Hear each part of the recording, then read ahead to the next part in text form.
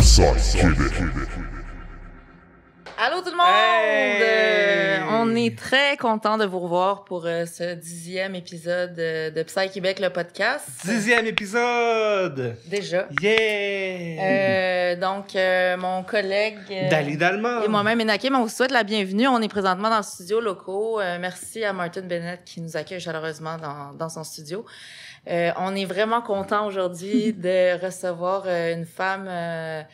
euh, moi, je trouve que c'est une femme qui se démarque certainement par euh, son euh, sa marginalité, euh, son originalité, son audace. Euh, c'est une femme qui est médecin de famille, euh, se spécialise pour une clientèle qui a des pro- différentes problématiques de dépendance. Elle est musicienne. ça fait à peu près 5-6 ans qu'elle a débuté aussi sa carrière de DJ sous le nom de Lady Cam. Lady Cam. Alors, on est vraiment content de recevoir Marie-Ève Morin. Merci. Bienvenue! Je suis tellement contente d'être avec vous, pour vrai. Là. C'est réciproque. On se aussi. retrouve. Yes! ben oui, c'est toujours un plaisir. Merci. De te voir. C'est un honneur d'être là. Yes. Vraiment. Comment Complètement réciproque. comment t'arrives? Comment tu vas? Euh, ben, j'arrive, en fait, on est en pleine... Bon, vous le savez, on est en pandémie depuis un an. On, a, on dit que dans l'histoire, les pandémies ont toujours duré autour de deux ans. Ok. Ok. Donc, on est au point tournant. En fait, dans deux jours, ça va faire un an que le confinement a été déclaré Hmm. obligatoire au Québec. Et aujourd'hui, le 11 mars, ça fait un an que l'OMS a déclenché la pandémie. Donc, ça fait un an aujourd'hui. Ok. Fait qu'on peut dire qu'on en a la moitié de faite. Hein, On peut dire qu'on en a la moitié de faite, mais pas une moitié facile. Mhm. Euh, je pense que dans la prochaine année, les choses vont devraient aller en s'améliorant. Le retour à la normale, si on peut dire qu'il va y en avoir une, devrait se faire. Mais c'est sûr qu'au niveau de mon travail puis au niveau festif, comme vous l'avez vécu aussi, on a tous vécu l'isolement, Mhm. le confinement, les carences relationnelles. Euh, dans mon travail, ça a eu un impact aussi parce qu'il y a beaucoup, beaucoup de rechutes de consommation, des gens qui consommaient plus, qui se sont remis à consommer, des gens qui consommaient pas, qui se sont mis à consommer, et des gens qui consommaient de façon contrôlée, qui ont perdu le contrôle. Je vous dis pas que c'est le cas de tout le monde, Mhm. mais il y a des gens qui ont su s'adapter très bien, là. Mais je vous dirais que c'est pas une période facile pour aucun médecin en ce moment parce que les gens vont un petit peu moins bien. Les gens sont plus irritables. On le voit.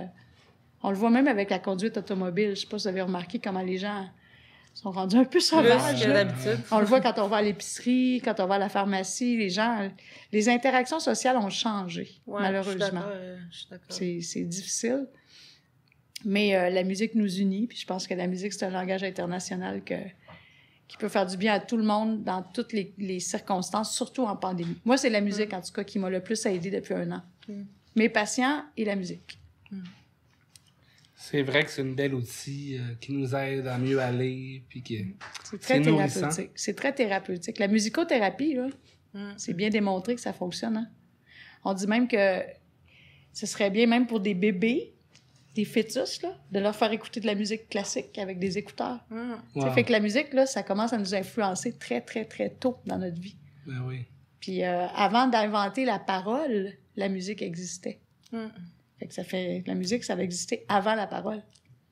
C'est une façon de communiquer. Exactement. Ouais. Exactement. Donc, toi, tu, si on veut comme te connaître un peu plus, Oui. là, toi, tu viens de quelle région? Grandi Moi, je, quelle- je suis née à Saint-Georges-de-Beauce. Fait que je suis une Beauceronne. La Beauce est reconnue comme une région où il y a beaucoup d'érablières, il y a beaucoup de cultivateurs, il y a beaucoup d'entrepreneurs aussi. Fait que moi, je suis née à Saint-Georges-de-Beauce en 77. J'ai 43 ans maintenant. Et j'ai vécu en Beauce à Saint-Georges de 0 à 18 ans. Donc, euh, puis, à ce moment-là, je veux dire, euh, j'ai- beaucoup aimé ma vie de 0 à 18 ans. C'était vraiment... euh, je faisais beaucoup, beaucoup d'art, beaucoup de musique. J'ai commencé à jouer du piano, j'avais 5 ans. J'ai commencé à lire la musique avant de lire les lettres. Fait que la musique, pour moi, ça faisait partie de mon langage euh, avant même de- de- d'apprendre à écrire. Fait j'ai commencé le piano classique. Euh, je chantais dans une chorale aussi, de l'âge- à partir de l'âge de 7 ans, je pense. J'avais une petite jupe rouge. Là. On chantait, ça s'appelait Les Rossignols. Euh, on a même fait un échange en France. On est allé Ah! chanter en France quand j'étais enfant. là. C'était vraiment cool. Puis un peu plus tard, à l'adolescence, là, j'ai formé un band. de musique rock. Wow. Ça s'appelait Exil. OK, ouais, ouais. Ouais, Puis on faisait des covers de... Écoute, on faisait du Ozzy Osbourne, on faisait du Alice Cooper, on faisait euh, du Megadeth, on faisait euh, Led Zeppelin, euh, on faisait du Marjo, euh, on faisait vraiment de la musique rock. Puis le drummer de notre band, son père était propriétaire de bar à Saint-Georges. Fait que moi, j'avais 14 ans et je me pratiquais dans un bar. Ah ouais, C'était hein? vraiment cool. On, Wow. on faisait même des prestations dans des écoles. Puis, euh, sérieusement, le plus beau moment, le moment le plus fort de ma vie, là, en termes d'émotion, là, puis d'énergie, c'est quand j'avais 15 ans, je crois, on faisait un spectacle à la Polyvalente de Saint-Georges-de-Beauce. Et on a fait la tune We're not gonna take it. Euh, Et tout le monde, il y avait 400 personnes, peut-être pas beaucoup 400, mais 400 personnes se sont levées en même temps et se sont mis à Ah. chanter en même temps. Ça, là, je vous le dis, c'est un des moments les plus forts de toute ma vie. L'énergie que j'ai sentie à ce Ah, moment-là. ouais. Ah, C'est ce qu'on retrouve, c'est ce Ouais. qu'on retrouve avec le DJing aussi, tu sais. Mhm. ouais, c'est De faire lever le monde, c'est... Moi, je trouve que c'est meilleur que le sexe. Ça dépend des partenaires, mais...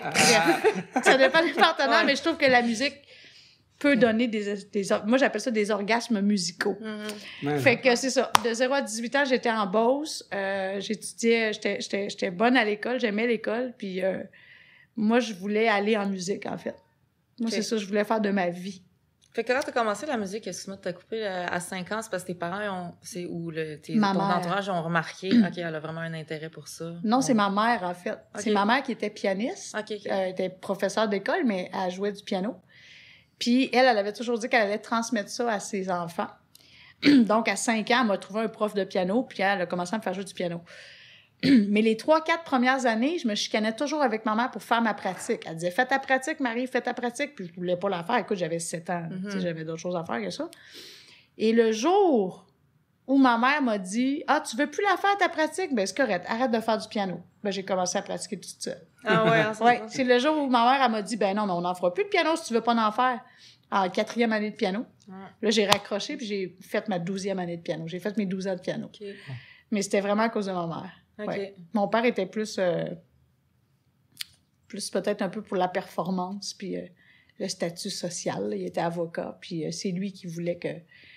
Il voulait pas que j'aille en musique, en fait. Ah Ça me non? dérange pas de le dire. là. Il me disait, euh, si tu vas aller en musique, tu vas être UBS toute ta vie. C'est ça qu'il me disait. Fait que j'avais des bonnes notes à l'école. Fait que pour moi, ça a toujours été un dilemme. La Mm. musique ou la médecine. Mm.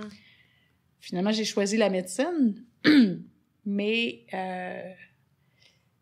je suis plus une artiste qu'une scientifique. Mm. Fait qu'en médecine, ça n'a pas été facile, en fait. J'étais trop comme. euh, je fitais pas dans le moule.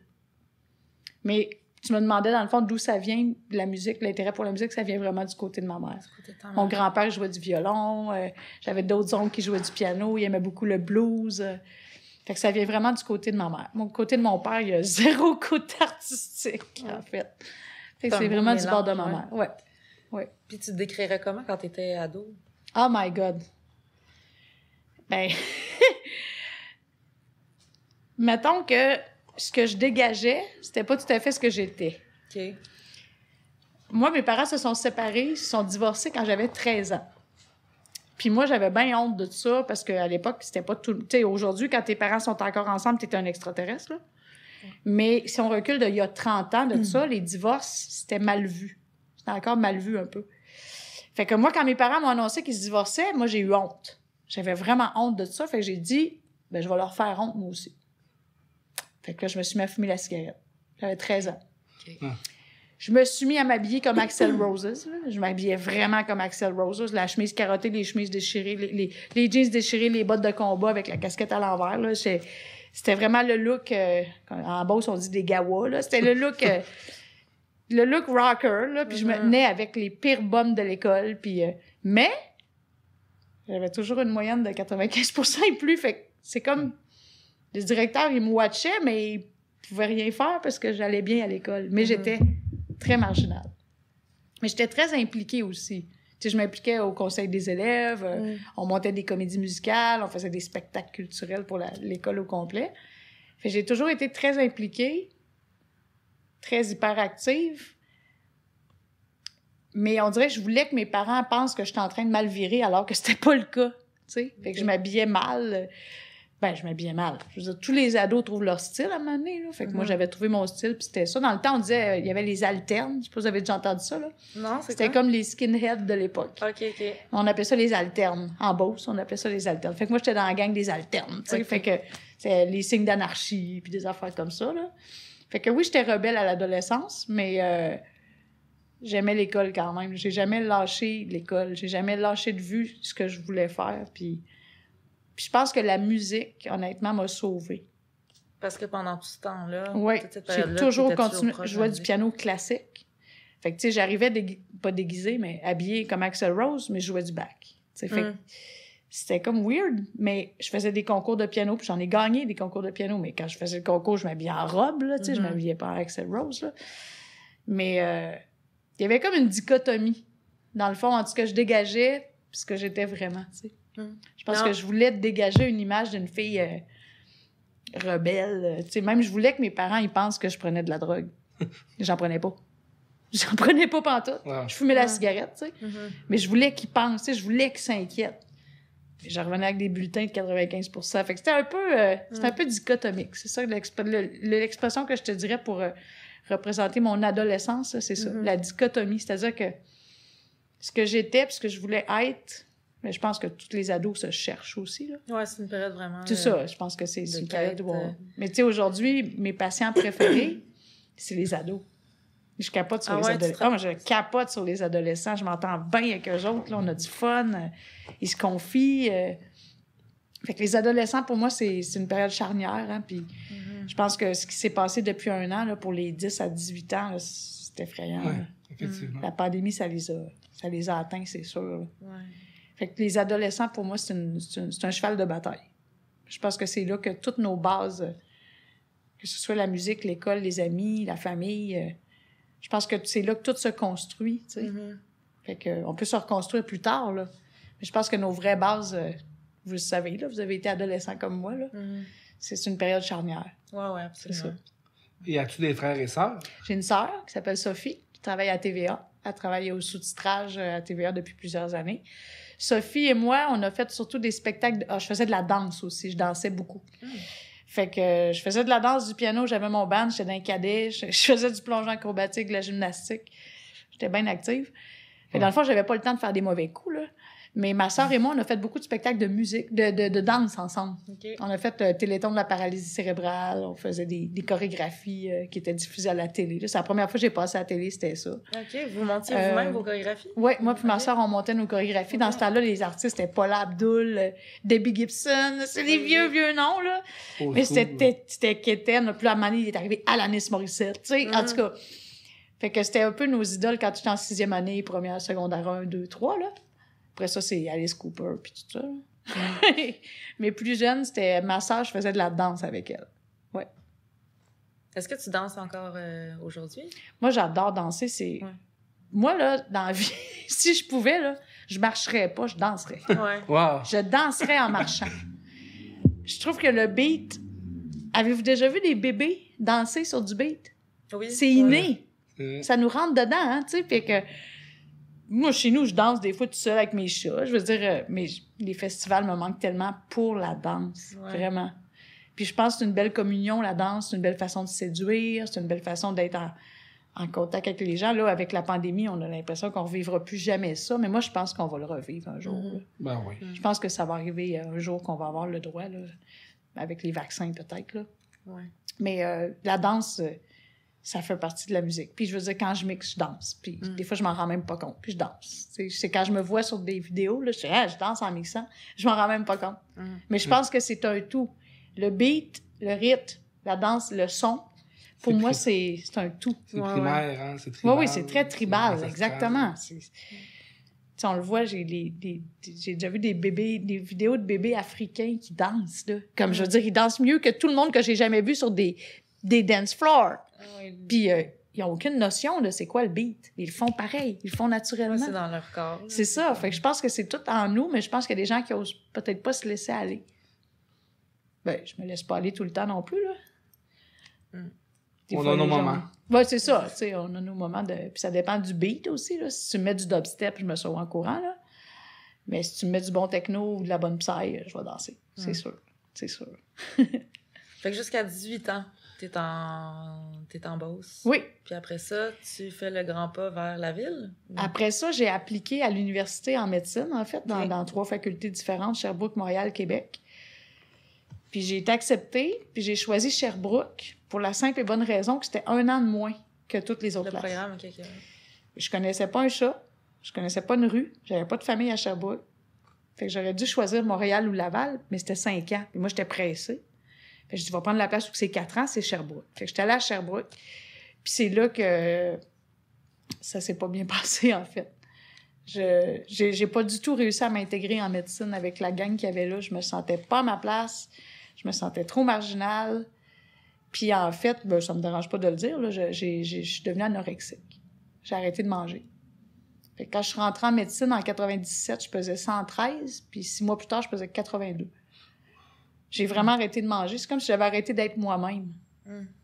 Puis ce qui m'a fait recommencer à manger, c'est de recommencer à être moi-même, de recommencer à faire de la musique, de recommencer à danser, de recommencer plusieurs années plus tard. Mais les troubles alimentaires, c'est super répandu. là. Je veux dire que ce soit de la boulimie, de l'anorexie ou les deux. C'est un phénomène social. Puis en médecine, il y en a beaucoup. Mm. Il y en a beaucoup. C'est beaucoup relié à la performance, Ouais, la à l'image. Le contrôle. C'est ça. Aujourd'hui, ça me dérange pas d'en parler parce que, je veux dire, je, je pèse 100 livres, ça fait 10 ans. C'est réglé, tu sais, ça. Mais euh, je pense que c'est important d'en parler parce que il y a beaucoup de gens qui... Il y a beaucoup de femmes, surtout, qui tombent là-dedans. Mhm.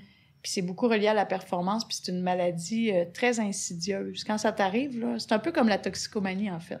Ben, C'est une dépendance. C'est une soi, là. dépendance, sauf que Ouais. l'obsession, c'est le poids, le jeûne. La compulsion, c'est la bouffe. Fait que Ouais. tu sais, tu disais à un cocaïnomane, c'est la coke ton problème, lâche la coke, ça va bien aller. Tu peux pas dire à un anorexique, c'est la bouffe ton problème, lâche la bouffe. ça. Ouais. c'est- Tu peux pas dire ça. Ceci est ton dernier repas. C'est ça. Ouais, c'est ça. Comme- T'es comme quelqu'un qui va être Ouais. exécuté, là. Mhm. C'est ça. Fait que c'est des troubles liés à la dépendance. Puis de toute façon, on peut en parler. En pandémie, 51 des Québécois ont pris du poids. J'en Fait que j'en pourquoi- fais partie. Pourquoi? Merci de ton authenticité. Mais pourquoi les gens mangent du sucre puis du gras? Ben, c'est parce que dans le cerveau, ça fait, ça peut se comparer quasiment à la démence à la cocaïne, le sucre. Le sucre, ça fait allumer les mêmes ondes dans le cerveau que la coke. T'imagines? Ben Là, je dis pas qu'il faut sniffer du sucre, c'est pas ça que je dis. Mais les, la bouffe, c'est, on a un rapport très émotif à la bouffe. Ouais, absolument. Alors qu'on bouffe quand on est fâché, on bouffe quand on a de la peine, on bouffe quand on, Mm. si on a de la misère à s'endormir le soir. euh, Ouais. Tu sais, on bouffe quand on n'a pas faim. euh, Mm. puis des... fait c'est ça. la- le rapport à la nourriture, pour moi, c'est quelque chose de, de vital maintenant. De vraiment l'hydratation puis de bien manger, là, c'est rendu quelque chose de. Je suis pas une bonne cuisinière, là. Je cuisine pas, mais j'ai des bons amis qui cuisinent.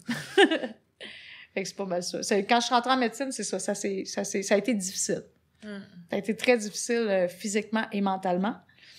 Mais je l'ai faite quand même. Ça a duré quatre ans à Sherbrooke. Ça, c'est le doctorat en médecine. là. C'est pour ça qu'on dit qu'on est des docteurs. Mhm. Mais dans le fond, c'est des études de, de premier cycle quand même. là, mais un- ils appellent ça un doctorat. Mhm. Et après ça, il faut faire la résidence. La résidence, c'est comme quelqu'un qui fait... Mettons, mettons quelqu'un qui fait son droit, mais qui fait pas son barreau. Il sera jamais avocat. Mhm. Il n'y aura pas de permis de pratique. Ben, pour être médecin, il faut faire ton doctorat et ensuite ta résidence. Fait que là, je suis allée, euh, je suis allée à Québec, à l'Université Laval, en chirurgie orthopédique. J'avais l'air d'un fémur qui Ah ouais? sciait des fémurs. Je- je- C'était vraiment pas pour moi, là. C'était encore le rêve de mon père. Fait que je l'ai faite pendant deux ans, mais j'étais hyper malheureuse. Puis là, on est en 2004. Puis là, finalement, au bout de deux ans, ben, je me suis fait mettre dehors du programme. J'étais pas bonne. J'étais vraiment pas bonne. C'était pas pas pour moi. J'étais pas heureuse. J'étais malheureuse. J'étais pas Mm. bonne. J'étais, j'étais maigre. Ça allait pas bien, mon affaire. Fait que je me suis fait expulser du programme d'orthopédie. Ça a été mon premier échec de ma vie. Mm. C'est la première fois de ma vie que je faisais quelque chose qui marchait pas. Fait que là, j'ai fait Fuck the world, m'en vais en musique, m'en vais à Montréal, fuck la médecine. Fait j'ai lâché la médecine. Complètement. Puis là, je me suis emmenée à Montréal avec la ferme intention de devenir chanteuse professionnelle. Puis finalement, c'est pas ça qui s'est passé du tout, là.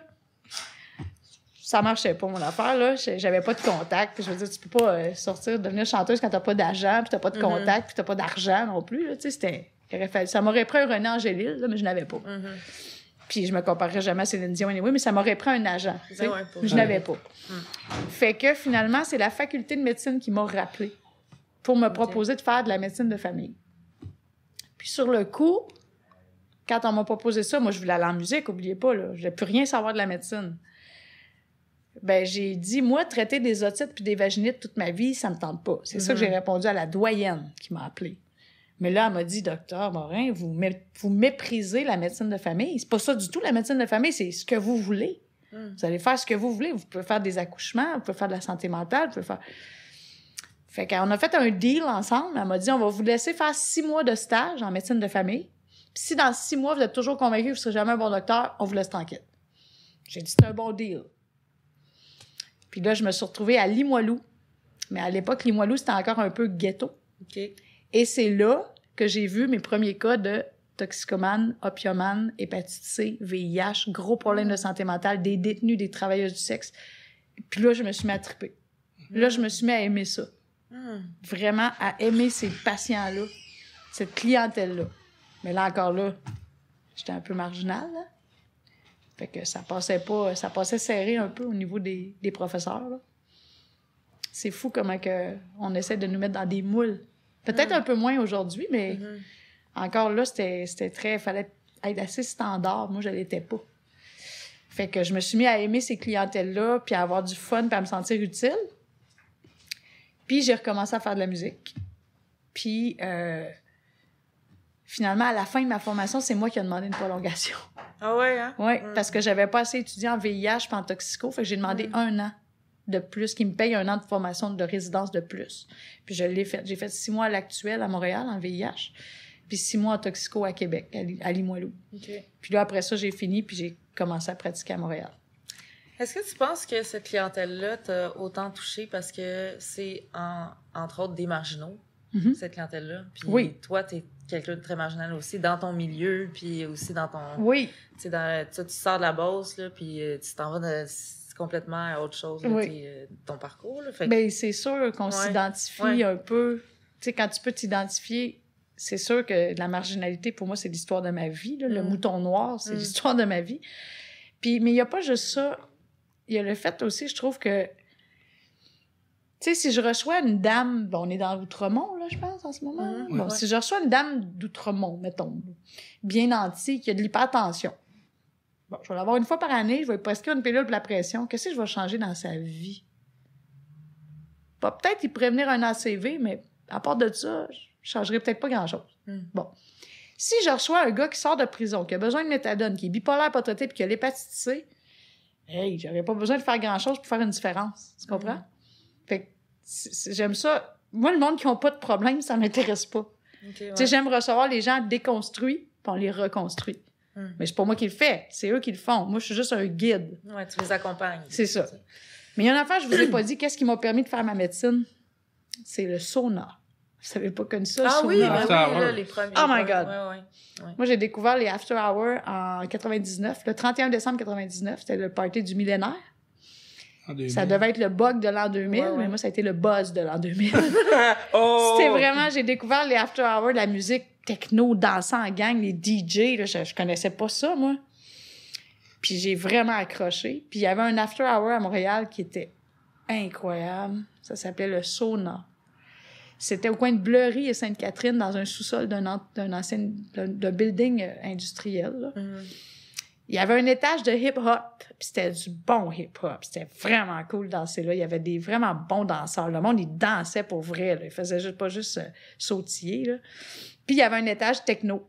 Puis je veux dire, j'ai vu euh, Mark Anthony, j'ai vu euh, Danny Tenaglia, j'ai vu les, les plus grands DJ, ils venaient au sauna.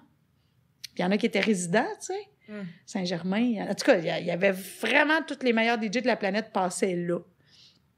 Puis euh, c'était vraiment spécial quand on arrivait là, là, l'entrée, il y avait des portes, des grosses portes en métal, puis il y avait deux bouncers. Puis là, tout le monde se plaçait en U, comme un fer à cheval, Mhm. et les bouncers choisissaient qui qui laissait rentrer. Ah ouais. Ah. Ouais!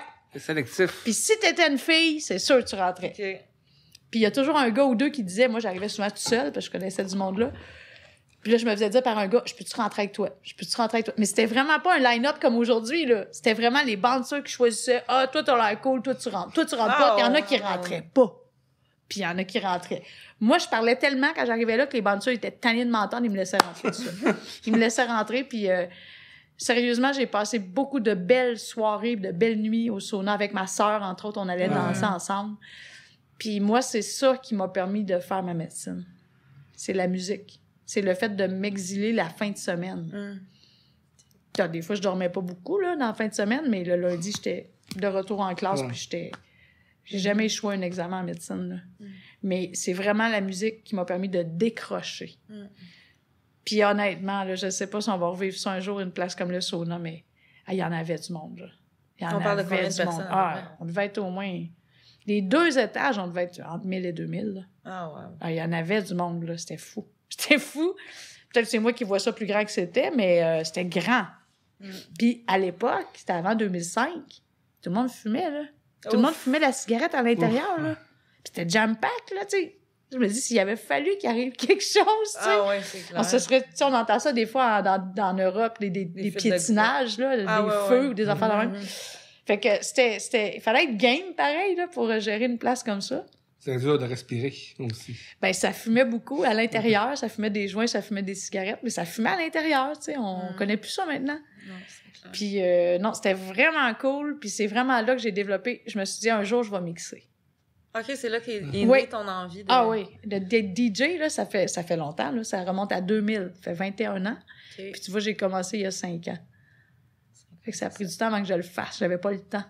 Ah, mais je savais qu'un jour je voulais mixer, ça c'est sûr, puis faire danser du monde, je vous l'ai dit, pour moi c'est un orgasme, c'est Mm. c'est tellement magique, là. Ça donne tellement d'énergie. euh, c'est la meilleure drogue, je pense. Ouais, L'énergie des, des gens qui dansent. Ouais. L'énergie musicale. C'est Mm. ça que je pense. Et après euh, avoir travaillé euh, à Québec, tu t'es revenu à Montréal. Oui, je suis arrivée à Montréal en 2004. OK? Moi, en fait, une autre affaire, un moment fort dans ma vie aussi, c'est que quand j'ai eu fini mon cours de médecine, mes examens, mes derniers examens, là, je m'étais dit, je fais mon cours, je fais mes examens, puis si je passe, là, si je réussis ça, je m'en vais à l'autre bout du monde. Ouais. Fait que je suis partie en Thaïlande. Je sais pas si vous êtes déjà allé en Thaïlande, là. Pas encore. Ça aussi, ça a été un moment très fort. J'étais à Koh Phangan, l'île des After Hours. Mhm. Il y a, il y a des, le Full Moon Party sur la plage. Le, mais c'est un, une, ça, c'est une gamique commerciale. là. Il y a le Full Moon Party, il y a le Half Moon Party, il y a le Black Moon Party, puis il y a Ah le ouais. Black, euh, Dark Moon Party. tu sais. OK. Il y a des parties tout le temps. C'est pas parce que c'est pas en pleine lune. Là, si c'est pas à pleine lune, ça va être à demi-lune. C'est le party. c'est vraiment là. euh, c'est vraiment des îles très animées. Puis on dirait que ça m'a boosté avant de commencer à pratiquer la médecine. Fait que je suis partie un mois et demi en Thaïlande avec un, de mes amis, avec Ah, un ami un membre de ma famille, en fait. Puis je suis revenue euh, à Montréal après, deux jours avant le tsunami. Oh, wow! Ouais. C'est fou. Ouais. Puis j'étais vraiment, j'étais à Koh Lanta, qui était le spot à côté de Phuket, là, où est-ce que la vague a tout ramassé. Ouais, ouais, ouais. Fait que deux jours plus tard, probablement que je serais pas ici pour vous parler. Mmh. Ah. Mais j'aurais eu quand même une belle fin de vie parce que ce mois-là en Thaïlande, le mois et demi en Thaïlande, c'était malade, là, c'était vraiment cool. J'ai mixé en Thaïlande. C'est la première fois de Ah. ma vie que je mixais avec des CD. Une fille, une DJ Miao, qu'elle s'appelait, là, une belle asiatique d'ailleurs, qui m'avait fait mixer. Puis euh, c'était la première fois que je touchais un mixeur. C'était en Thaïlande en 2004. Ouais. OK. Oui, dans un petit bar sur le bord de la plage. là.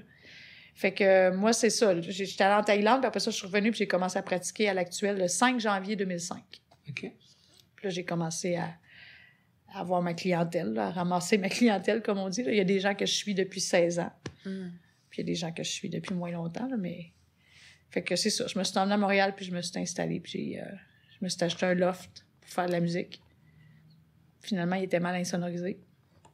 Fait que t'as pas pu... Fait que j'ai racheté un là. deuxième loft avec du- des, des planchers en béton armé de 16 pouces. Ça, ça transmet la base.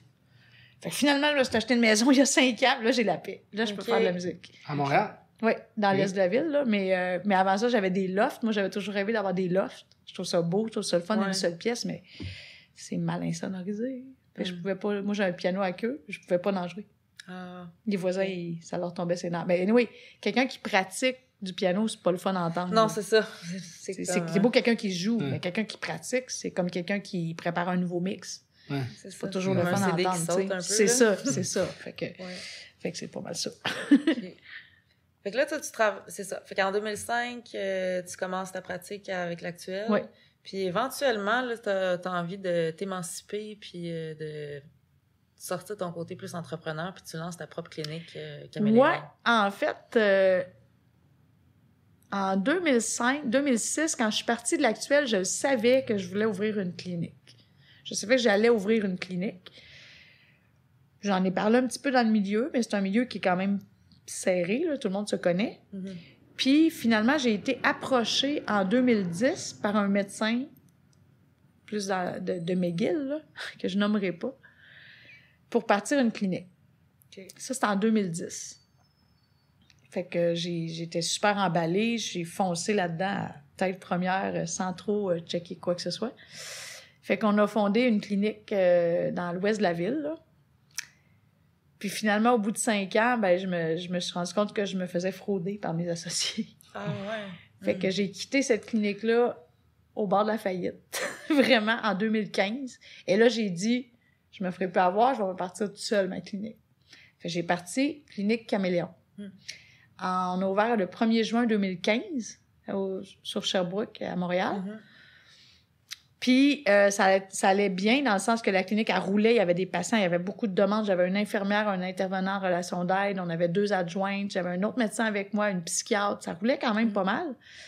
Mais j'ai parti ça on my own, puis j'avais aucune subvention. Fait que la clinique, c'est moi qui payais les salaires, le bail, le matériel, les ordinateurs. Ça me coûtait, euh, je Mm. vous dirais pas combien Mhm. ça me coûtait, là, mais ça me coûtait plus cher que ce que je faisais. Fait que j'ai engouffré beaucoup d'argent dans cette clinique-là en, en cinq ans, là, et toutes mes économies, en fait. Ah ouais. Tout l'argent Ouais. que je faisais, ça rentrait dans la clinique. Puis finalement, en 2019, là, je me suis affiliée avec deux dames, là, Luce et Brigitte, pour aller chercher des subventions au gouvernement pour pas fermer la clinique. Mhm. Parce que je pouvais plus fournir, moi, là, là j'étais plus capable. Faut que ben, je mette de l'argent de côté aussi, là. Mhm. Puis, tu sais, dans la vie, c'est pas combien tu gagnes qui est important, c'est combien tu dépenses. Tu sais, si tu fais 100 000, Ouais. mais tu dépenses juste 30 000, t'es riche, là. Mais si tu fais 500 000 puis tu dépenses 499, ça marche pas, là. fait que c'est c'est pas l'important, c'est pas combien que tu fais, c'est combien qui en sort. Fait que finalement, on a approché le gouvernement, le ministère de la Santé. Euh, j'ai, écoute, j'ai rencontré toutes les instances possibles. Là, je vous les nommerai pas, c'est des abréviations, là, mais DRMG, DSMD, MSSS, le CIUS, toutes les abréviations Mhm. qu'on entend. C'était la maison des fous. Ah ouais. C'est comme les je 12 pense- travaux d'Astérix. ah ouais. Tout le monde se lançait à la balle. Nous autres, on n'a pas de budget pour ça. Les autres, ils en ont. Les autres, ils en ont. La santé publique, blablabla. Écoute, c'était vraiment les 12 travaux d'Astérix, Mm. Pour finalement, en février 2020, me faire dire par le ministère de la Santé on peut pas vous laisser tomber, on vous laissera pas fermer, c'est trop important ce que vous faites, on va vous aider. Mm. On va trouver un plan B.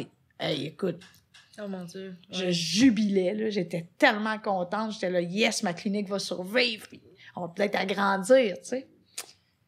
Mais là, qu'est-ce qui est arrivé au mois de mars? Ah, c'est la pandémie. La pandémie. Fait qu'au mois d'avril, quand j'ai relancé le gouvernement pour dire, ben là, euh, c'est là que j'ai besoin d'aide, là, parce que les demandes d'aide pleuvaient. Ben là, ils m'ont dit, ah, finalement, on ferme votre dossier parce qu'on a d'autres priorités avec le COVID.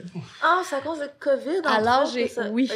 là. Alors, le COVID, là, retenez que ça n'a pas fait fermer juste des restos puis des bars. Ah. Ça a fait fermer beaucoup d'entreprises. Les cliniques médicales privées, en passant, les médecins qui ont des cliniques privées sont pas millionnaires. Là. Mhm. Ça coûte hyper cher une clinique médicale. Les salaires, entre autres, c'est incroyable. Fait que moi, avant de... Là, j'étais vraiment rendue... euh, j'étais à bout, là. Là, j'ai tiré sa plaque. J'ai carrément dit, c'est beau, je vais fermer, sinon je vais, je vais y laisser ma peau, tu sais. Parce que ça m'a rentré dedans, là, de me Ah, faire dire clair. oui. Puis de... moi, j'ai pas de misère à me faire dire non dans la vie. J'ai une misère à me faire dire oui et non après. Mhm. Si tu prends un engagement, tiens-le, tu sais. C'est ça que je fais avec mes patients. Sois à ton rendez-vous, tu sais, puis ils sont là. Mais là, le gouvernement me dit oui, puis après ça, dit non. Ben ça, en tout cas, ça, ça a été euh, un gros échec. Pas un échec, une expérience. Mais euh, je l'ai fermé. La clinique, finalement, le 28 août dernier, c'était ma dernière journée. J'avais bien de la peine, c'est sûr. Mhm. les employés aussi. Puis c'était beau, la clinique Caméléon. Je pense que vous l'avez déjà vu. Ouais. Tu sais, Il y avait les deux mannequins Caméléon quand on rentrait. Tout était coloré. on Ouais, avait de la bonne musique. On avait un beau comptoir de la réception. Les bureaux, on avait une vue écœurante Ouais. sur le l'est de la ville. Ouais. Fait que j'en garde un bon souvenir. puis C'est un beau cinq ans que j'ai vécu. Mais pour me sauver la peau à moi, là, pour passer à moi, parce que je veux dire, mentalement, j'étais j'étais déprimée aussi. Mm. J'étais tannée de tout ça. Année, quand tu te bats, tu te bats, tu te bats. C'est c'est David contre Goliath, là. C'est le Mm. gouvernement. Vous voyez qu'on. En tout cas, ils disent qu'ils sont à l'écoute, là, mais ils ont des drôles de priorités des fois. Fait que j'ai fermé. Puis là, je suis partie travailler dans une clinique qui ne m'appartient pas. Comme quand j'ai commencé à l'actuel, j'ai la Mhm. paix. J'ai commencé à me mettre un petit peu d'argent de côté à chaque paye parce que j'aimerais ça m'acheter un chalet dans deux ans. Tu sais, j'ai un projet quand même, là. Fait que je, je repartais à zéro, carrément. Puis là, je suis à la clinique La Licorne. Dalicorne. La Licorne. Ah, j'avais compris Dalicorne. Ça pourrait, je vais leur en parler. non, mais La Licorne, c'est situé au coin d'Ontario et Saint-Hubert, downtown, en plein centre, à côté de Berry. C'est super cool comme clinique, c'est super beau. Et là, je n'ai plus à payer l'infirmière, la secrétaire, le bail. le- Je paye juste mon petit bureau, puis c'est parfait comme ça. Euh, je suis beaucoup plus calme. Depuis que je suis là, je suis beaucoup plus zen. Ah. J'ai vraiment du fun à travailler. là. J'ai toujours eu du fun à travailler, mais là, j'en ai encore plus. Ah ouais, fait que tout ce renversement-là, Ouais. puis toutes les... Finalement, c'est comme... C'est positif. C'est positif. Oui, oui, puis j'ai bien plus de temps pour faire de la musique.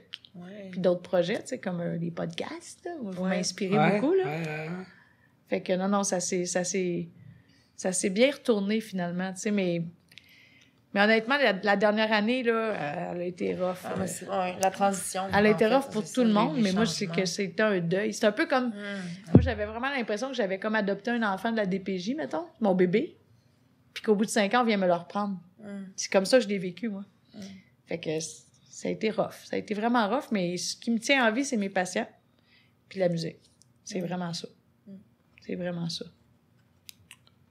La clinique Caméléon a, a fermé, mais tu maintiens toujours les projets Oui, Caméléon. oui, c'est ça. Il y avait la clinique Caméléon, mais il y a aussi le projet Caméléon, qui est un organisme sans but lucratif. On a des numéros de charité et tout. Euh, avant, ça s'appelait Fondation Caméléon. On a enlevé le mot fondation. Ça pogne pas, ça. Fondation, ça, c'est, c'est dépassé un petit peu. fait que là, on a appelé ça Projet Caméléon. Mm. Et on a deux volets. On a un volet festif. Donc, on va dans les événements de musique électronique pour faire des interventions médicales, de la prévention du drug testing Mhm. tout le monde, je pense, les- ben, il y a beaucoup de monde maintenant qui connaît ce projet Mhm. Caméléon là, dans les festivals. On distribue du matériel stérile, euh, des cendriers portatifs, des condoms, des, des pipes, euh, des, des, des pipes à, à fumer ou des, des, des pailles pour sniffer. Tu sais, du matériel Mhm. stérile de consommation. On n'encourage pas la consommation. Au contraire, on fait de la prévention, mais on sait que le monde consomme de toute façon. Fait qu'on aime mieux faire de la réduction des méfaits Mhm. puis on leur fournit du matériel stérile. On fait aussi de l'analyse de substances. Ça, contrairement à ce que tout le monde pense, si toi, tu viens me faire analyser une substance que tu viens d'acheter, puis je te dis que c'est pas ce que tu penses, ben, ça se peut bien que tu la consommes pas. Mhm. Fait que, contrairement à ce que les gens pensent, l'analyse de substances, ça fait pas augmenter la consommation, ça la diminue. Mhm. Donc, il y a plein de monde qui nous ont dit, ben moi, je la ferai pas, je t'ai là, je veux pas, parce qu'ils voulaient pas consommer ce qu'ils qu'ils avaient pas acheté à bonne affaire, finalement. Puis l'autre volet, ben c'est euh, ça, c'est c'est mon plus gros thrill, euh, c'est le volet médical. On ramasse les surdoses. Tout que des filles. hein? C'est vraiment euh, de l'adrénaline à l'état pur. Là. Moi, quand je finis le festival, je suis aussi maganée que les festivaliers, Mhm. même plus, parce que on dort pas beaucoup, on n'a pas beaucoup le temps de manger, on est tout le temps sur appel, puis c'est le f- c'est vraiment agréable. Des fois, c'est épeurant, là. Mais juste pour vous donner un exemple, à Eclipse, l'année Mhm. avant qu'on soit là, il y avait eu 27 ambulances. Première Ouais, année qu'il y a eu une présence médicale, 4 ambulances. Wow. Fait que ça, c'est des coûts sociaux hein, qu'on sauve aussi. Puis pour quelqu'un qui fait un wipe de jus, là, se réveiller dans une ambulance, c'est assez traumatisant, merci. Là, ou se réveiller à l'hôpital, tu sais. Oh. Alors que nous, ils se réveillent au médical avec nous autres, tu sais, puis on leur fait des grimaces, puis on rit avec eux autres, tu sais. Fait que ça permet de diminuer les Ah. ambulances, à- diminuer la consommation avec l'analyse de substances, puis diminuer les risques d'attraper des maladies reliées à la consommation, comme l'hépatite C ou le Ouais. VIH. Fait que ça, c'est le volet festif. L'autre volet, c'est dans les écoles. Moi, ça fait dix ans que je donne des conférences dans les écoles sur les substances. J'amène souvent un patient avec moi qui fait un témoignage, d'ailleurs. Puis c'est dans les écoles euh, secondaires, surtout. Fait que l'autre volet de Projet Caméléon, c'est d'aller faire des conférences dans les écoles publiques. Fait que c'est ça, Projet Caméléon. Quand, quand tu parles que tu viens avec un patient dans les écoles, le patient, c'est un patient qui se rétablit ou c'est Oui. un patient qui a consommé beaucoup? C'est un patient qui s'en est sorti. OK. Ça veut pas dire qu'il rechutera jamais. Tu vois, l'année passée, j'ai amené un gars à au collège d'Assomption, puis six mois après, il avait l'aiguille dans le bras. puis il a rechuté, ça fait partie de la maladie. Là. Mhm. Mais quand il est venu à l'école, il était vraiment. Puis ça, des jeunes, ils capotent. Les Ah, ados, oui, là, c'est sûr. Parce que ils capotent sur. Ben oui, ouais. c'est concret. Moi, je parle, pour eux autres, je suis la vieille docteur, pareil, qui parle, là. Ouais. Tu sais, ils ont 15 ans. Mm. J'ai 43 ans. Fait ils me trouvent drôle, ils me trouvent le fun, mais quand il y a un jeune de 20 ans qui commence à parler, puis à leur dire qu'il commence à consommer à 13, 14 ans, puis là, là, là, c'est magique. Tu devrais Ah voir l'ambiance, comment que les jeunes, ils posent des questions. Comment ça te coûtait par jour? Tes parents, ils savaient-tu? Euh, Mm. C'est quand la première fois tu as fait de l'ecstasy? Ils posent toutes les questions qu'ils veulent. Puis la personne elle est libre de répondre ou pas, mais d'habitude, ils répondent. Mm. Ça, c'est bien apprécié. Fait que Projet Caméléon, c'est ça. Puis là, nouvellement, ben, vous m'inspirez. On a décidé de lancer un podcast euh, sur les substances. Oui. Fait que ça va commencer à la fin mars. Euh, à chaque semaine, on va aborder une substance sous toutes ses coutures. On va vraiment parler de A à Z. On parle euh, 20 minutes de temps de la coke. OK. Fait qu'on parle de les effets, les effets désirés, les effets indésirés, les risques, la contamination, la coupe, Mm. comment ça coûte, comment ça se présente, comment ça se consomme, comment de temps ça dure, tout, tout, tout ça. On va vraiment faire, euh, dans le fond, une biographie pour chaque substance, Mhm. même si on n'a pas la vérité absolue, on sait pas tout, là. Mais euh, on espère que ça va être... euh, que les gens vont se divertir, en tout cas. Ouais, se divertir puis s'éduquer. Ben, s'éduquer Euh, en se divertissant, dans le fond. C'est sûr, parce qu'on a mis une touche d'humour aussi, c'est sûr. On met des costumes, puis tout ça, oui. On met des éléments, comme pour la MDMA, on met des casques en poil, on se flatte. C'est juste un exemple là, pour euh, le premier podcast. On explique le projet. Moi, j'ai un chapeau de cowboy parce que je dis que consommer en 2021, c'est cowboy. Mm. Ouais. Faut, faut être cowboy pour Mm. consommer maintenant avec ce qui circule. Là. Fait que, tu sais, c'est tous des exemples comme ça qu'on on espère que ça va fonctionner. On, on aimerait ça faire un podcast par semaine. Là, je, tu sais, je sais que c'est très exigeant. Vous pouvez m'en témoigner vous autres même. Là. Mhm. Mais on va voir, on va voir comment Ouais. ça va se passer. Puis quand on aura passé, mettons, une vingtaine de substances, ben là, on va peut-être parler des ITSS. Mettons un podcast sur la Ah. syphilis. La syphilis, c'est pas tout le monde qui connaît ça. là. Même moi, je suis pas la plus grande spécialiste de la syphilis. Fait qu'on va inviter un autre docteur qui va venir parler de ça. Ah, c'est vraiment intéressant. Puis après ça, s'il y a encore un, un intérêt, on aimerait ça faire les, les maladies mentales. Parler du TDAH, parler de la maladie bipolaire, parler de la schizophrénie, parler des troubles Ah. anxieux, des post chocs post-traumatiques. Dans un langage euh, accessible, c'est ça. Mm. Fait que c'est ça qu'on vise de faire. Mais c'est surtout pour nous divertir, parce que je veux dire, il y a- il n'y a, pas grand-chose à foutre de ce temps-là. là. Mhm. Puis pour divertir le monde. Mais euh, nous, c'est à partir d'une idée qu'on se pognait le beigne un peu, là. Puis on voulait, on voulait faire quelque chose de créatif. Ouais. C'est ça. Avec mon ami Daniel Hervieux, Oui, Et je mon- le connais. un compagnon de vie depuis longtemps, là. C'est mon, mon meilleur ami. En fin mars, on peut s'attendre à voir. Ben, euh, on aimerait ça lancer le premier le 28 mars. OK. Puis d'ailleurs, je vous ai pas demandé quand est-ce que le podcast actuel était diffusé. Ça devrait être... Fin euh, mars. Ouais, à peu près. Fin mars. ok. Ben, je peux peut-être vous le dire, c'est, c'est- ça va être diffusé le dimanche soir à 7 h. Et ça s'appelle Personne n'en parle. Oh! C'est pas pire, hein? ouais, c'est bon. Mais personne n'en parle de ça. Mhm. C'est très bon. hein? Ça va être drôle. Ouais, mais hein? Fait que c'est la première fois que je le dis publiquement le titre. là. Vous êtes en primaire. Ah, mais c'est excellent. Parce que je l'ai annoncé sur. Facebook, mais j'ai pas dit le titre encore. OK, OK. Mais là, je vous le dis, ça va être personne n'en parle. Parce que c'est un clin d'œil à tout le monde en parle, Mhm. c'est sûr. Mhm. Puis on va parler de sujets que, tu sais, je veux dire, parler 20 minutes de la coke à la TV, tu feras pas ça souvent, là. Non, Tu ça. pas ça souvent. Fait que, c'est ça. Donc, On conseille à tous ceux qui nous écoutent présentement d'aller écouter le podcast euh, Personne n'en parle, animé À partir du avec- 28 mars. À partir du 28 mars. Ça va être disponible, si la tendance se maintient, ça va être disponible Exact. à l'heure actuelle euh, pour tous ceux qui nous écoutent à la maison. Exact. Un podcast euh, animé par euh, Marie-Ève Morin et Daniel Hervieux, Yes. euh, présenté par Projet Caméléon. Allez voir ça. Exact. On supporte ça à 100%.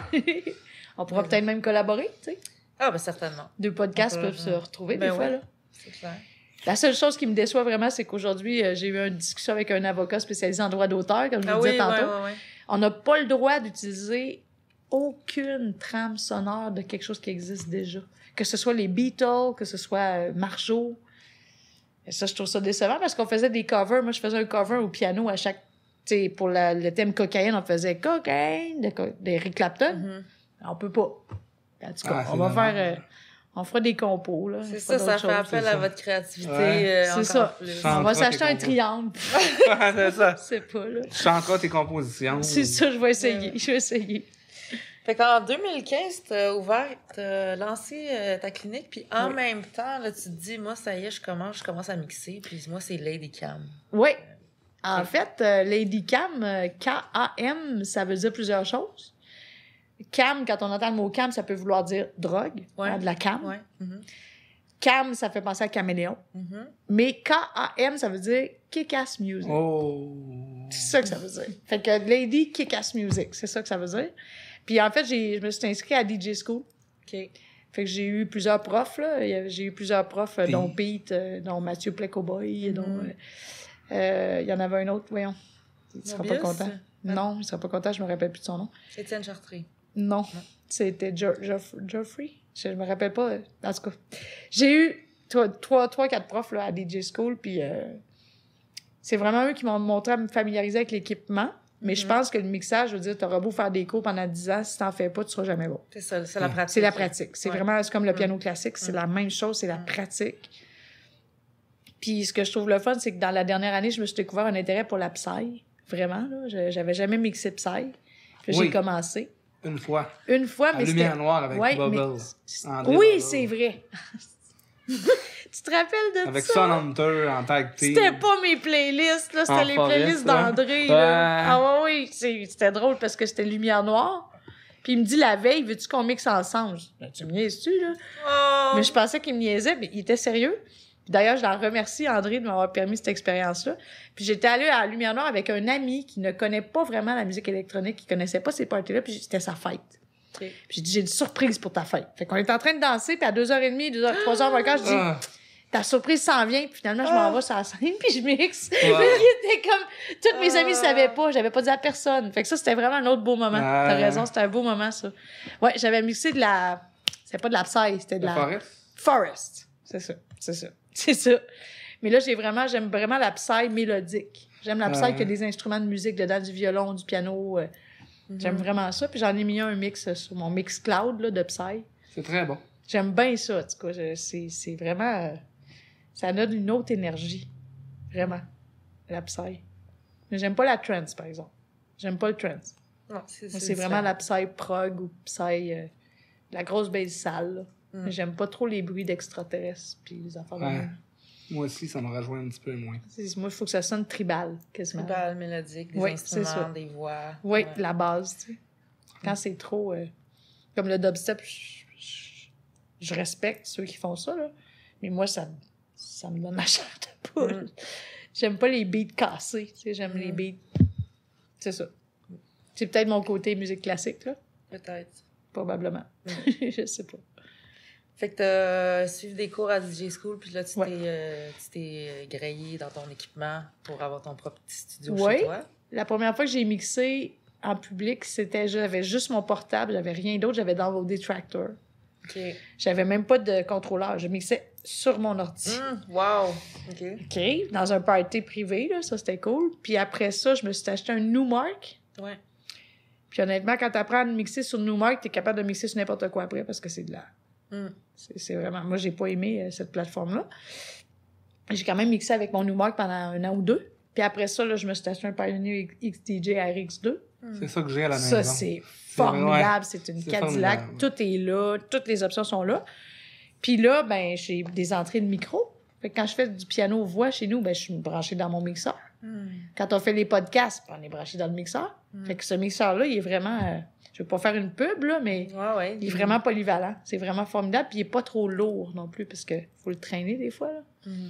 Fait que oui, je me suis équipée. Là, faut que je m'achète des nouveaux écouteurs. Ils sont scrap, là. C'est assez basique, là. Mhm. puis sinon, euh, ben, c'est ça. Je fais, ma- je fais mes recherches beaucoup sur Beatport, mes playlists. Puis euh, c'est fou comment, quand tu commences sur, sur Beatport, quand tu commences, c'est un labyrinthe, hein. Ah ouais, vraiment. Ouais. C'est là que tu te retrouves des des, fois dans des raccoins, là, que tu fais comment j'ai fait pour me retrouver là. Mais c'est bon. Mm. C'est vraiment bon. Fait que c'est. C'est vraiment cool. Monter une playlist, euh, moi, je trouve que c'est un- c'est quasiment un buzz. Ah ouais. Tu sais, si tu montes une playlist en 2-3 heures, là, t'écoutes la musique, t'écoutes la musique, tu fais wow, c'est c'est Ouais. comme, c'est comme mixé quasiment, là. C'est c'est un buzz. Moi, c'est- moi, la musique me donne mes meilleurs buzz, en tout cas. Mm. Vraiment. Et aussi, tu fais euh, des performances euh, live, euh, filmées, en direct de chez toi. Ouais, des Facebook Live. Ouais, Oui, mais maintenant, c'est difficile à cause des droits d'auteur, justement. Ils nous coupent. ouais. Ils nous Ouais. coupent tout le temps, tu sais. Je sais jamais. Comme l'autre fois, j'ai mis un petit bout d'une tune de ACDC, Thunderstruck. Je me fais aviser qu'ils vont me couper, mais c'était une version techno, là. C'est... En Ah. tout cas. Fait qu'avec Facebook Live, c'est pas évident. Faut prendre plus des plateformes comme Twitch. Ouais. Mais, sais, qu'est-ce qui accroche le monde sur Facebook, c'est l'image. Fait que si tu vois une image passer, tu vas aller cliquer dessus, tu vas aller voir c'est quoi. Mais si tu vois un lien Twitch, le monde, ils vont moins cliquer dessus. Euh, Fait que, tu sais, Facebook, c'est pas l'idéal maintenant pour diffuser, mais c'est l'idéal au niveau de l'exposure, je pense. là. Mhm. Mais, euh, mais ce qui est le mieux, c'est pas de mixer tout seul chez nous, c'est de mixer dans un festival. ouais, Ça, c'est c'est vrai. ça c'est vraiment cool. Quand, quand le monde se lève, là, puis tu vois qu'il danse sur ton beat, ça, c'est c'est magique. Je sais pas si ça varie d'une fois à l'autre, mais tu te sens comment avant d'entrer euh, sur le stage? Avant de jouer? Ben bizarre. Souvent, c'est comme Ouais. le track qu'on appelle. là. Ouais. Le track, euh, mais le track, c'est positif. Il faut en avoir du track. Là. Mhm. Mais souvent, je me sens déconnectée un petit peu, comme dissociée un peu. OK. C'est comme si j'étais pas dans mon corps. Puis je commence, puis je rentre dans mon corps, c'est correct, tu sais. Mais avant, là, des fois, je- c'est comme si c'était pas moi. Je sais pas si tu Ouais, comprends tu ce que je veux vois- dire, tu là. te Tu vois te aller vois comme- au-dessus de toi, quasiment. Ouais, là. ouais, ouais. Sans drogue, là. Tu sais, Euh, tu te vois quasiment dissocié, là. Puis là, finalement, je commence à mixer, puis là, je vois là, dans- souvent, j'ai j'ai le shake. Des fois, j'ai le shake. Une fois, je me suis fait inviter à D32 pour aller mixer sur le bord du, euh, de, à Longueuil. les sons détruisent tout. euh. Ouais, et j'ai fait une crise de panique. Avant? commençant à mixer, j'avais Ah. j'avais bu du café. Là. Je pense que j'avais bu 8 cafés. J'avais pas mangé. C'était l'après-midi. Il faisait super chaud. Mm. Puis je suis arrivée, puis André était là. Puis j'ai commencé à mixer, puis euh, mes mains faisaient ça comme ça. J'étais Ah. incapable de me contrôler. Il y a plein de monde qui m'ont vu, je le sais. Là. Puis là, j'ai dit André, mix. Mix, je suis pas capable, je suis pas capable. Je suis pas capable de mixer. pas- J'étais comme plus là. Une crise de panique, là. J'ai pas fait ça souvent dans ma vie. J'ai fait ça deux fois, donc cette fois-là. Mm. Puis euh, j'avais j'avais vraiment pas assez dormi puis trop de café. là. C'était ridicule. là. C'était c'était pas c'était rien d'autre que ça. Mm. Puis là, au bout de deux, trois tonnes, André, il m'a dit Ben non, mais t'es capable de mixer, Marie, t'es capable de mixer. Non, je suis pas capable, je suis pas capable. Je reconnaissais plus la machine. Ah ouais, hein? Ah J'étais vraiment plus là. Puis là, finalement, à la troisième tonne, il m'a dit Vas-y, t'es capable. Il m'a mis les mains sur le mixeur comme. Il dit Vas-y. Puis là, j'ai j'ai fini. Je l'ai fait. Mon Ah, mix. t'es resté? Oui, oui, je l'ai fait, mon mix, mais j'ai fait, voilà, j'ai fait une crise de panique. Hey, mon Dieu, c'est intense. J'étais vraiment pas bien, ça, c'était la pire fois, là. Sinon, les autres fois, j'ai- j'aime ça, moi, la scène. J'ai- J'aime ça être en prestation. Je l'ai toujours dit, j'aurais toujours voulu être sur une scène toute ma Mm. vie, tu sais. Mm. Fait que j'aime ça. Mais le track avant, le track, des fois, ça donne des effets de dépersonnalisation ou de dissociation, là. Ouais. Mais c'est correct, tu sais. Il faut en avoir du track. Si on n'a pas de track, on performe pas, là. Mhm. Fait que, mais je me sens, souvent, j'ai hâte. Puis c'est comme quand je donne des conférences médicales, j'ai toujours peur qu'il y ait du monde qui s'en aille. Ah. Ça, c'est toujours ma phobie. J'ai toujours peur d'avoir du monde. Il y en a du monde qui s'en vont, puis c'est correct, là. Mhm. Mais c'est comme si je voulais garder tout le monde, tu sais. Mais Je Mhm. pense que ça, tous les DJ sont comme ça, là. Ouais. Tu sais, s'il y en a un qui s'en va, je là, Ah, c'est pas bon. il y en a 100 qui dansent, mais il y en a un qui s'en va, je dis, Ah, c'est pas bon. Ouais, c'est ça. Mais les 100 autres, là, on les voit moins. Ben, c'est ça. c'est niaiseux, là. C'est la, la performance, tu sais. Ouais. C'est ridicule. J'ai eu la chance l'été passé de jouer après toi au Saguenay. Hey, c'était le fun, hein? Mais hein, Ah, que c'était cool. avant Ricam. Oui. C'est vraiment une belle expérience. Ça, c'était malade. Parce que le monde, ils ont vraiment levé, hein, quand on a commencé, là. Ouais, mais hein? Tabarnouche, c'était le fun. Il y a personne qui dansait depuis 24 heures. À cause de la musique ou ça venait moins les chercher? Je sais pas. Ok. Puis là, j'avais commencé, puis écoute, le, le, le dance floor s'est rempli, c'était vraiment magique. Puis tout de suite après, c'était Dali, puis le monde ont resté.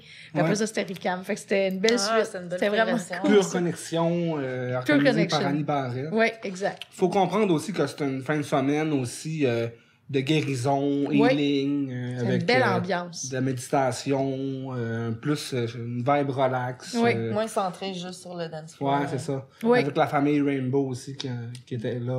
euh. C'était vraiment un bel événement. Mais ça. hein, ben oui. Ça valait la peine de faire la route. Une belle vibe spirituelle. Malade. C'était bien dosé. Euh, J'ai bien aimé ce rassemblement-là dans ma région natale. euh. Puis il y avait des pauses quand même longues, hein, tu sais, on pouvait dormir quand même, là, le matin, Ouais, ça ça. recommençait plus tard, tu sais, fait que c'était, C'est bien pensé pour que tout le monde euh, fasse attention à eux, je pense. Mm. Puis il n'y avait pas d'équipe médicale, tu sais, fait que fallait que ça se passe bien, puis ça s'est bien passé. Mm. Très bien. C'est un peu une nouvelle tendance aussi de festivals euh, Plus qui petit. sont plus, euh, ouais, plus petits, plus. euh, Mm. la- les gens ils dorment la nuit. euh, Mm. C'est- C'est c'est moins ma vibe préférée au départ, mais avec le temps aussi, en vieillissant, euh, Ouais. Tu vas Ça voir. vient me chercher, Tu vas voir euh, quand tu vas pogner 40 ans. C'est ça, mais oui, c'est vrai, on vieillit. On est jeune encore, mais c'est vrai qu'on vieillit. euh. Ah, euh, 40, ça...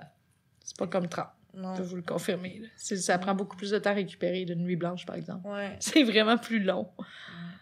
C'est le fun encore, mais c'est juste vraiment long de récupérer. Faut vraiment que tu planifies. Là. Si tu prévois passer un, un samedi de nuit blanche, il faut que tu planifies que ça va aller jusqu'au jeudi avant que tu aies ton énergie normale. Là. Alors qu'à 20 ans, à 22 ans, je veux dire, j'allais au sauna. Je dormais pas bien, bien puis j'étais bien correct. Le lundi, là. j'étais bien correct. Là, tu sais, j'étais totalement lucide. Là, là c'est plus pareil. euh, c'est- La récupération est moins est plus lente, mais j'imagine à 50 puis à 60. faut se tenir en forme, je pense. On parlait de ton stress avant de performer, Mhm. mais quand tu fais une, conférence ou euh, est-ce que tu es stressé? Oui. Ben oui et non. Les... En fait, les médias, je fais beaucoup de médias, mais contrairement à ce que tout le monde pense, c'est pas planifié. Tu sais, la semaine passée, j'ai fait comme dans une journée, j'ai fait trois entrevues, mais ils m'appellent sur mon sel, êtes-vous disponible dans une heure?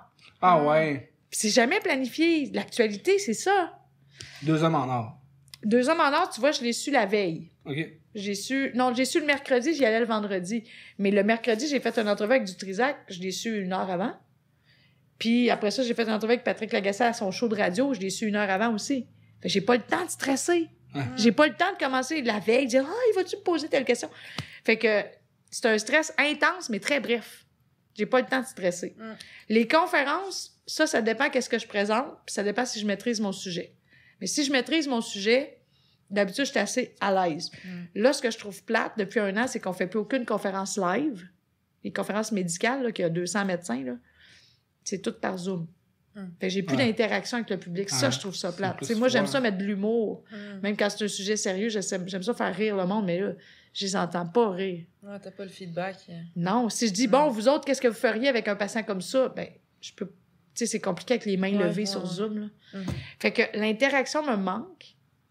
Mais le stress, je te dirais que les conférences, si c'est la première fois que je donne une conférence, ça me stresse, c'est normal. Ouais. hein. Mais il y en a une que je donne là, sur le COVID, ça doit faire dix fois. là. C'est correct. Tu sais, je- Mm. ça me stresse plus. Mais le trac est toujours là. Puis le trac, comme je vous dis, je pense que c'est important. Le trac, c'est un ré- c'est une réaction physiologique normale quand tu sais que tu vas performer. Si t'as pas de trac, Ouais. ça se peut que tu sois moins bon. En fait, Ouais. c'est ça qui fait monter l'adrénaline. Mhm. Puis l'adrénaline, c'est ça qui nous fait performer. Fait que c'est correct d'être stressé ou d'avoir du trac. Je dirais plus du Mm. trac que du stress là, avant une performance. Mais pour les médias, comme je te disais, euh, tu sais, tout le monde en parle. J'étais à tout, le monde en parle, deux fois. Je l'ai su la journée même. Ah Ok. ouais, ouais. Ouais, Je pensais pas que ça se passait comme ça. ouais. Euh, Il y a une fois, je l'ai su deux jours avant, mais la première fois que j'étais allée, ils m'ont appelé le. Ils, on enregistrait le jeudi. Ils m'ont appelé jeudi à 11h, il fallait que je sois là à 6h. Mm. Fait que j'ai pas. Une charge, j'étais bien habillée, hein, tu sais. Ouais. Sérieux, des fois, je m'habille plus funky, là. Tu sais, là, c'était correct, c'était parfait, j'ai été, tu sais. Mais t'as pas le temps de stresser avec les médias. Je vais plus stresser pour un festival, je pense, que pour une entrevue à, à- à radio ou à télé. Mm. Ouais. Plus de préparation. Ben, c'est parce que tu vois ton public. ouais. Tu les vois live interagir. Si ça lève pas, ça lève pas, tu le vois, là. Mm. Alors que tu fais une entrevue à TV, tu sais pas qui, qui t'a regardé, tu sais pas qu'est-ce que le monde a dit, puis c'est bien correct de même. Mm. Ben, tu- tu te, tu te fais des idées aussi, là. Tu te dis, ah, c'était-tu bon, c'était-tu pas bon, mais je trouve que DJ, c'est vraiment, euh, c'est confrontant, là. Mm. Parce que le monde sont en face de toi. Mm. C'est une performance live, comme n'importe quel show de musique, tu sais. Alors que les médias, ça... Les médias, ça paraît bien... euh, C'est pas si glamour que ce que le monde pense, là. Mm. C'est du monde, euh, c'est du monde ordinaire là, qui parle des médias. C'est du monde comme vous autres puis moi, puis ça paraît bien bien extraordinaire, mais moi, je trouve ça plus intimidant être DJ. Ah, ouais. Oui. J'aime ça, j'aime plus ça même. Mais je trouve ça plus... euh, Il y a un thrill différent. Puis tu sais, les festivals, on le sait comme un an d'avance quasiment, là. Mhm. On a le temps de stresser avec notre performance pendant longtemps. Fait que c'est... Moi, ça me confronte plus la musique Mm. que la médecine même. Il y a quelque chose qui est quand même remarquable quand tu performes, qui est aussi euh, coloré, Mm, qui est euh, unique, c'est que tu te déguises. Oui, j'aime ça me déguiser, moi. Chez nous, là, vous devriez voir ça, j'ai une collection de perruques, une collection de tutus, une collection de chapeaux, une collection de lumière dans le cou, une collection de... J'aime ça me déguiser, moi. J'ai Ouais. toujours été comme ça. J'étais petite, je faisais ça. Je me faisais des spectacles seule, tu sais. Ouais. Je faisais même le public. Je disais, aimez-vous ça? Ouais! Tu sais, je me répondais, là, puis je m'enregistrais. je me déguisais. J'ai toujours été comme ça. Fait qu'encore aujourd'hui, à 43 ans, oui, j'aime ça me déguiser. Puis c'est une façon aussi de faire la distinction entre le doc dans le festival Mm. puis la DJ. Parce que, tu sais, si je m'en vais mixer avec une perruque bleue puis un chapeau haute forme, mais après ça, je l'enlève mon chapeau puis là, je fais ma job de docteur. Mais je veux pas comme mélanger les deux, tu sais. Mm. Fait que pour moi, c'est deux personnages différents. Puis euh, bon, ça m'est déjà arrivé de faire des interventions médicales avec une perruque, oui. Ça m'est déjà arrivé là, dans les festivals qu'à un moment donné, je vais danser un peu sur le dance floor, puis il y a quelqu'un qui tombe, puis je suis déguisée. Ben, je vais, je vais faire ma job pareil, mais je suis pas à l'aise. tu sais, J'aime mieux, j'aime mieux être Mm. moi là, quand je fais des interventions médicales. Mais oui, j'aime ça me déguiser, c'est vrai, Dali, j'adore ça me déguiser, puis j'aime ça mettre des lumières, j'aime ça mettre un tutu, une perruque. J'aime ça. C'est le personnage de Lady Cam, dans le fond. Ah ouais, c'est ça. cute. puis, ben moi, j'aime ça. Les lunettes aussi, j'ai une collection de lunettes. Incroyable. Toutes sortes de lunettes. Mm. Des trucs. J'ai une collection de plein d'affaires.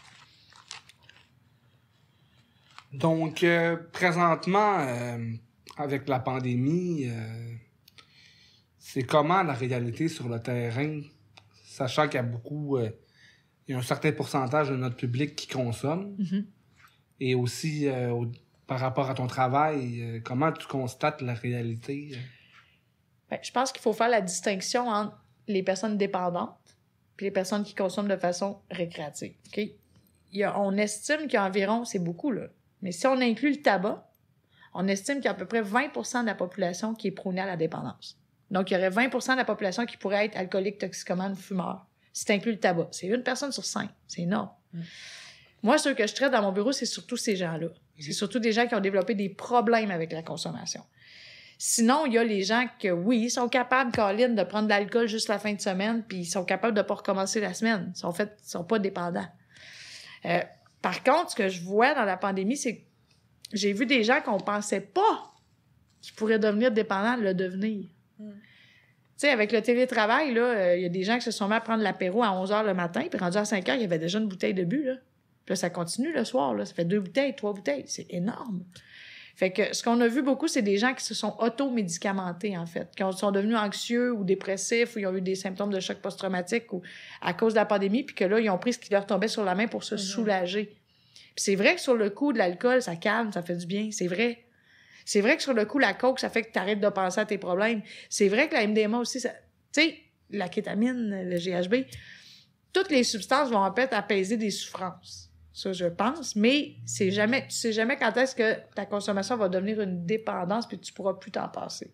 Mm. Moi, c'est beaucoup ces gens-là que je traite. Moi, le monde qui consomme de façon récréative, j'en- je veux dire, j'en- je dirais pas que j'en ai rien à foutre, mais je veux dire, c'est pas ces gens-là qui ont besoin d'aide. Mm. C'est ceux qui sont dépendants. Puis, tu sais, on dit souvent la première substance qui rentre dans la vie d'un dépendant, c'est la cigarette, puis c'est la dernière substance qui en sort. Mm. c'est vrai, la cigarette, c'est un indice de toxicomanie, en fait. Mm. Fait que les, les, les patients de ce temps-là, il y a beaucoup de gens qui ont recommencé à fumer, qui avaient arrêté de fumer la cigarette. Il y en a qui ont recommencé à consommer, qui avaient déjà arrêté de consommer. Puis il y en a qui se sont mis à consommer, qui n'avaient jamais consommé. Mm. Fait que en ce moment, ce qu'on voit beaucoup, en fait, c'est une perturbation aussi des, des routes de, de trafic, parce que les frontières sont fermées. Fait que les deux grandes substances naturelles, entre guillemets, là, la cocaïne et l'héroïne, tu sais, la cocaïne, ça vient de Colombie, Pérou, Bolivie. L'héroïne, ça vient de l'Afghanistan, entre autres. Ben là, les routes de, trans- de trafic ont été perturbées. Fait que la- le prix des substances a augmenté. Mhm. Puis, tu sais, mettons qu'on serait des trafiquants, là, puis on importe de la coke ensemble, puis on est rendu qu'on paye, la, on paye l'once 2500 au lieu de 1500. Ben, qu'est-ce qu'on pourrait faire pour la revendre le même prix au même monde? On va la couper. Et ce qu'on voit en ce moment, c'est effrayant. On voit, en fait, euh, la cocaïne beaucoup contaminée à la méthamphétamine, mais ça, c'est pas nouveau. Mais ce qu'on voit beaucoup, c'est de l'héroïne contaminée au fentanyl. Beaucoup, Mm. beaucoup, beaucoup. Dernièrement, on a vu apparaître sur le marché de l'héroïne rose, de l'héroïne mauve, de l'héroïne bleue. Mm. m'excuse, là, de l'héroïne, c'est beige, brun ou blanc. Ça veut pas dire que l'héroïne beige, il n'y a pas de fentanyl dedans. Mais l'héroïne rose, bleue ou mauve, c'est sûr qu'il y en a. Puis, en ce moment, on a, on a à peu près deux surdoses mortelles par semaine à Montréal. Hmm. C'est énorme. C'est du jamais vu. Et il y a bien des surdoses qui sont peut-être même pas comptabilisées. Le monde qui meurt dans leur, leur appartement, qui sont retrouvés au bout de 3-4 jours, est-ce que c'est vraiment comptabilisé comme des surdoses ou c'est comptabilisé comme des suicides? Ou on le sait pas, tu sais. Fait qu'il y a beaucoup de risques de surdose en ce moment à cause du stock qui circule. Il y a beaucoup de risques de surdose parce que le monde sont en confinement et consomment tout seul.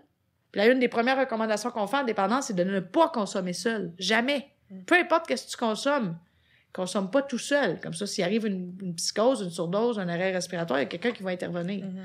Mais là, en confinement, on n'a pas le droit de se rassembler. Fait qu'il y a plein de monde qui consomme tout seul. Alors que d'habitude, il y avait au moins un ange gardien avec eux, tu sais. Fait qu'il y a la solitude, l'isolement, les carences relationnelles qui déclenchent beaucoup d'anxiété, de dépression.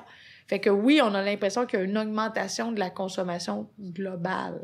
Mhm. Pas juste chez les dépendants, mais même les personnes qui consommaient de façon récréative sont peut-être mis à consommer de façon plus régulière.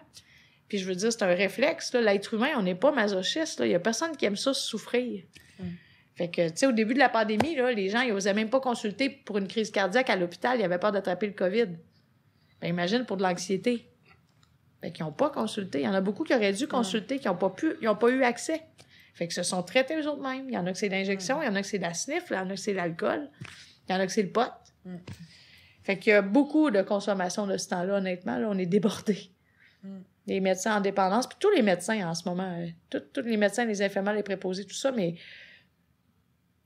Puis les médecins, je veux dire, on n'est pas, euh, comme je le disais tantôt à la blague, MD, ça veut pas dire mon Dieu. On n'est pas, on n'est pas invincible, hein? puis on Mm. se branche pas dans le mur pour dormir le soir. Mm. Fait qu'il y a eu beaucoup, moi je soigne des médecins qui ont des problèmes de dépendance même. Mm.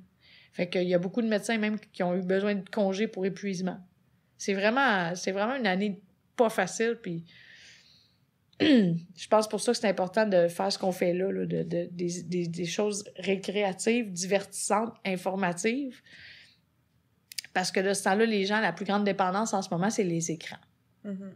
Tout le monde est fixé sur ses écrans tout le temps, tout le temps. En télétravail, à la fin de la journée, ils ferment, la, ils ferment l'ordi, ils rouvrent la télé.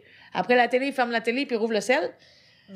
On est, on est omni, omnidépendant aux écrans en ce moment. Fait que, c'est correct, on va être diffusé sur un écran, nous autres, là. Mais je veux dire, euh, il y a le sport, hein? Le sport, ça existe encore. Mm. La zoothérapie, les animaux domestiques, ça l'aide aussi à la gestion de l'anxiété. L'art-thérapie, créer quelque chose de ses mains. Puis la musicothérapie. Ça, ça marche encore, tu sais. Mais Dali, tu disais comme, comme médecin, qu'est-ce que je vois? Ben, mettons que toi, tu viens me voir, OK? Puis tu vas pas bien. Tu commences à être déprimé. En dehors de la pandémie, qu'est-ce que je te dirais? Je te dirais, va t'inscrire dans un gym. Va au resto avec des amis. Va voir un spectacle de musique. Ou fais un voyage dans le sud, ça va te faire du bien. Toutes les affaires qu'on peut pas faire. Je peux plus recommander ça. Fait que comme médecin, on est un petit peu pris comme ça, puis on est pris avec beaucoup de prescriptions de médicaments. On prescrit beaucoup d'antidépresseurs. On a Mhm. des prescriptions records d'antidépresseurs. J'ai vu un article ce matin. Record de prescription d'antidépresseurs chez les ados Mhm. En ce moment. Fait qu'on est un peu pris avec ça, là. Fait que moi, c'est sûr, je recommande... Je prescris des chats, je prescris des chiens. C'est pas tout le monde qui a accès à ça non plus. hein. Quand t'es en Mhm. appart, des fois, il y a- les animaux sont Ça. interdits. Je prescris de la musique. Je prescris de la musique, ça c'est sûr. Écoute de la musique. Fais de la musique. Puis je prescris de l'art-thérapie. Je demande aux patients, dessine-moi une licorne. Tu Fais-moi un tableau d'une licorne. Fais-moi un mandala avec une licorne. C'est des exemples, là, mais c'est des outils thérapeutiques. Ah Au lieu de juste prescrire des médicaments. Là. Mhm. Mais c'est pas facile. Tu, tu poses la question, là, je t'ai répondu longuement, mais Ben oui? c'est vraiment pas facile de ce temps-là. Mais chaque patient individuellement m'allume, me, me stimule, me... On rigole quand même. Là. Quand ils viennent, les patients, on essaie de rire un peu, là, même quand c'est pas drôle. là. On se fait du bien mutuellement. C'est ça. C'est quelque chose que toi, tu t'appliques aussi dans ta vie, la zoothérapie, euh, la musicothérapie, Ouais. le sport? Oui. Moi, je vis avec mes trois chats. Trois chats. Je devais pas en avoir trois, mais mon plus vieux a eu une grosse bosse dans le cou là, il y a quelques mois de ça, une grosse masse. J'étais allée chez le vétérinaire, je pleurais, j'ai le cancer. C'est sûr qu'il y a le cancer. Fait que le vétérinaire l'a examiné, a fait une biopsie, il m'a confirmé qu'il y avait le cancer. Fait que moi, je voulais pas que mon autre chat soit toute seule. Fait que j'ai réservé un autre chat chez l'éleveur. La bosse a disparu finalement. Ah, OK. Que j'ai trois chats. Ah, mais. euh, Merci, euh, merci à la vie pour euh, Ah oui. prolonger, euh. Oui, oui, mon Hervé, il va, il va survivre Hervé. encore longtemps. Puis en passant, là, mes chats adorent la musique, Ta Ah musique? ouais. mais pas le même style. Ah, Gabi, elle tripe sur le classique au piano. OK. Hervé, tripe sur la bass.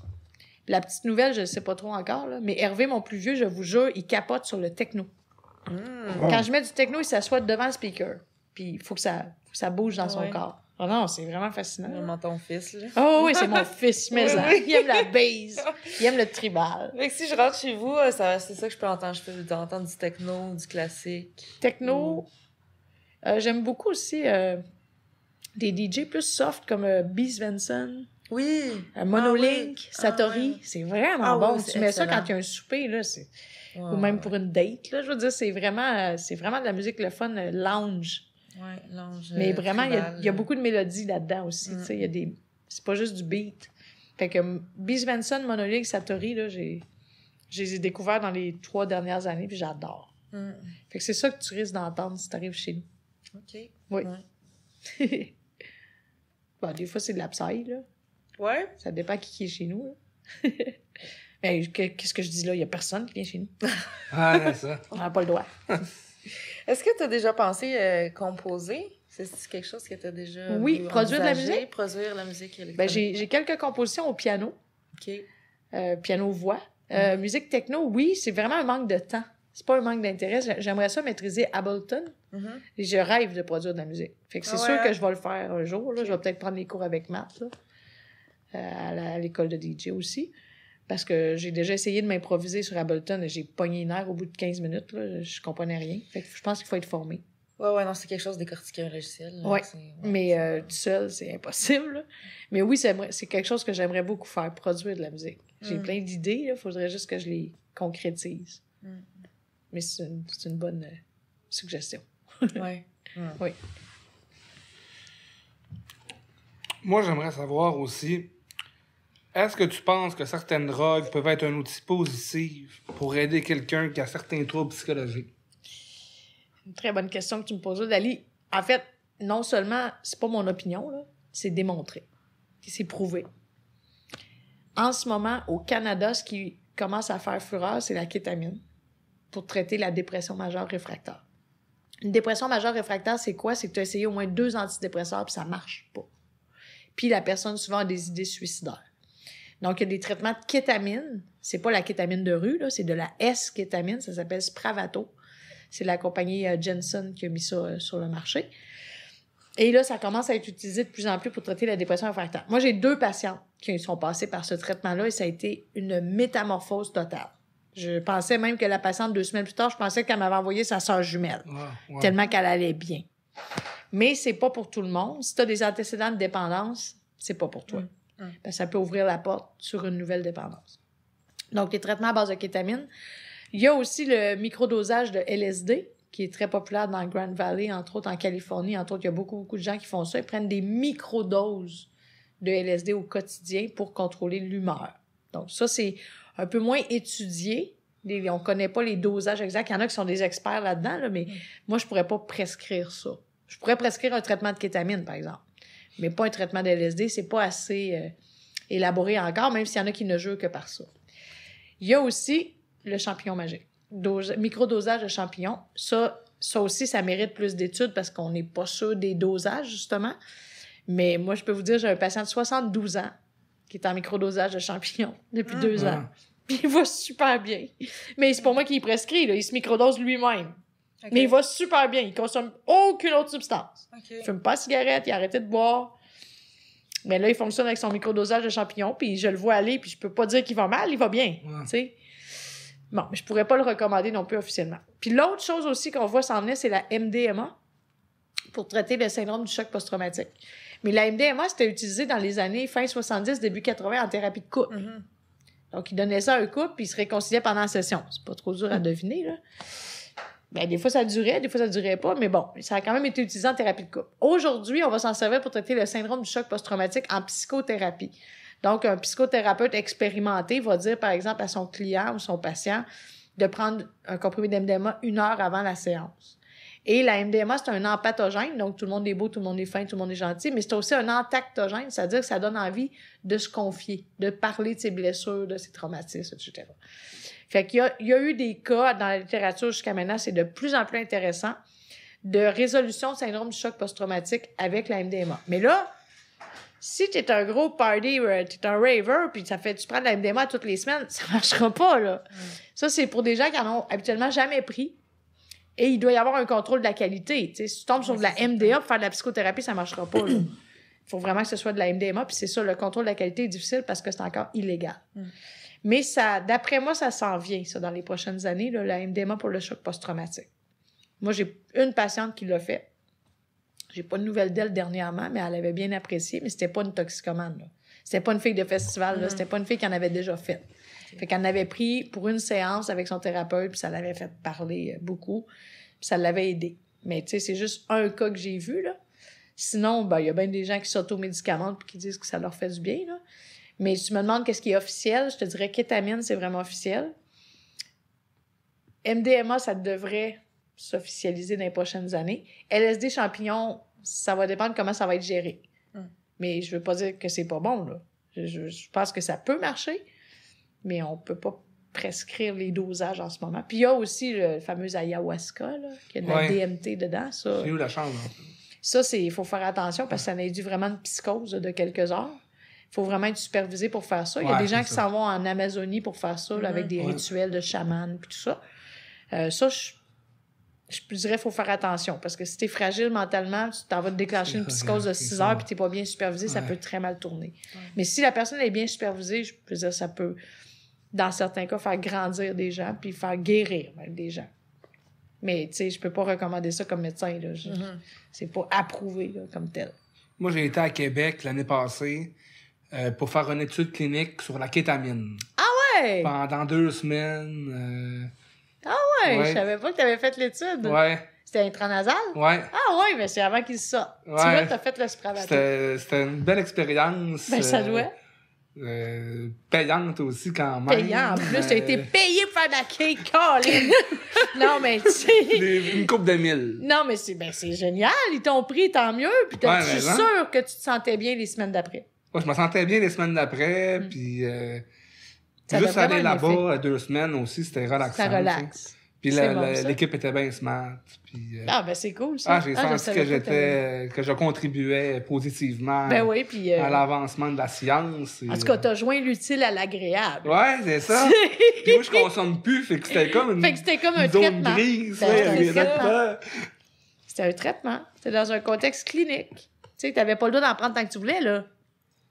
Non, Hein? Ben non, non. c'était trois doses. Ben oui, ça. En, en deux semaines. C'est ça. euh, C'est ça. avec Ils ont des- établi des- les des jours de protocoles. repos, puis ils Ben, venaient me poser écoute, des... euh, Ils me dosaient, après ça, ils venaient me poser des questions. T'as-tu puis- dissocié? T'as-tu mal au cœur? Il y avait différentes doses, donc j'ai l'impression d'avoir eu la dose moyenne. 56 mg. Je sais pas, mais 54 ou 56 mg? c'était juste correct. C'était... OK. Ah, mais c'est intéressant que tu aies Ouais, fait ça. hein. T'as contribué à la science de façon agréable. Ouais, ben ouais. Je voulais la faire, cette étude-là. Puis là, j'ai, j'ai, comme, j'ai appelé ma marraine. J'ai comme, qu'est-ce que t'en penses, toi, que je fasse Elle ça, a dit non, c'est de- sûr. de- non, non, ouais, ça, C'est comme, sûr ça, qu'elle a c'est dit comme non. euh, slippery field. Ouais. C'est terrain Ça glissant. dépasse, ça dépasse si. Ouais. Ouais, c'est. Écoute, toutes les réponses sont valides, là. Ouais. Pour avant de terminer, j'aimerais savoir aussi, crois-tu que les pratiques holistiques plus énergétiques, comme le Reiki, peuvent être utiles pour faciliter un processus de guérison? Moi, je pense que tout ce qui ne nuit pas peut aider. Mais je pense que ce qui peut nuire, faut faire attention. Comme, mettons, quelqu'un qui s'improvise acupuncteur, puis qui n'a jamais manié de, de- d'aiguille de sa vie, ce sera pas bon. Tu Mhm. comprends? Le Reiki, je connais très bien cette technique-là. Moi, je crois beaucoup à la méditation, le yoga, euh, les techniques de relaxation, la, con- la pleine conscience. Je sais pas si vous connaissez ça, la pleine conscience, c'est Mhm. génial. C'est vraiment, en fait, de ramener les gens dans le moment présent. C'est ça qu'on a de la misère de nos jours, c'est qu'on est toujours en train de penser à ce qu'on a fait ou ce qui s'en vient. Mhm. On n'est jamais dans le moment présent. Comme là, on, on est bien, je veux dire, oui, on est en pandémie, mais on est bien, là, les trois Ah, ensemble. Présent, présent. Tu sais, on n'est pas mal, là. Fait que dans le moment présent, ça va bien. Mm. Fait que le Reiki, c'est... Oui, j'en ai déjà... J'ai un ami qui m'en a déjà fait, là. C'est pas désagréable du tout, ça il nous touche même pas, là. Mais c'est une forme d'énergie qui peut. Si, moi, je pense que si ça ne nuit pas, ça peut aider. Mais tu comprends quand je dis nuire, c'est que si tu joues dans la tête du monde, si tu insères des trucs, tu sais, je veux dire, euh, de la- de l'acupuncture de, de, de, sur le bord d'une table quand tu connais pas ça, c'est pas recommandé, tu sais. Les tatouages, c'est la même affaire. Moi, le tatouage, pour moi, c'est une thérapie. J'en ai 21. Mais pour moi, c'est thérapeutique. Les tatouages, ça me fait du bien. Puis pourtant, c'est holistique. tu sais, c'est- c'est pas très, c'est pas très médical. Fait que je pense que ce qui, ce qui fait du bien, je pense que ça va beaucoup avec le minding. Toi, si t'es avec quelqu'un qui veut te faire du Reiki pis tu y crois pas, pas en tout, t'auras beau avoir le meilleur maître de Reiki au monde, ça marchera pas, là. Fait que, tu sais, je pense méditation, acupuncture, Reiki, euh, exercice physique, euh, yoga, pleine conscience, toutes ces techniques-là, la visualisation aussi. Ça, moi, je le pratique beaucoup, la visualisation. Si tu veux quelque chose dans la vie, là, faut que tu le vois. Faut que tu le vois dans ta tête. Faut que tu mettes un moment que tu vas l'avoir. C'est, c'est tout. euh, je pense qu'on a beaucoup plus de pouvoir sur notre, sur notre pensée qu'on pense. Notre cerveau, il est beaucoup plus fort. Hey, on- ça a l'air que même les plus grands génies de- se servent de leur cerveau à 15% T'imagines-tu Ah. tout ce qu'on pourrait faire si on savait comment s'en servir comme du monde, tu sais? Fait que, tu sais, ma réponse à ta question, c'est que je pense que si, si ça fait pas de tort à la personne, puis ça n'atteint pas son intégrité physique et psychique, je pense que tout est valide. Tu sais, il y en a qui font du sadomaso puis ça leur fait du bien. Mais s'ils sont consentants puis qu'ils se font pas de tort, c'est correct, tu sais. Je pense que c'est une question de respect, de liberté puis de consentement. Mm. C'est ça. Donc, avais-tu d'autres questions, euh, cher ami? Ben, Laquelle? moi, en fait, j'ai quelque chose euh, pour toi. C'est Ah, un- ouais? un, un- c'est un petit jeu pour la fin. C'est ça, je m'en demandais si tu l'avais. Un jeu, j'adore les jeux. Mais en fait, c'est des cartes. euh,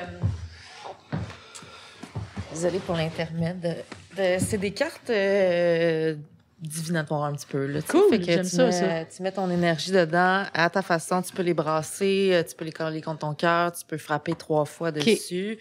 Puis, Est-ce qu'il faut que je les brasse?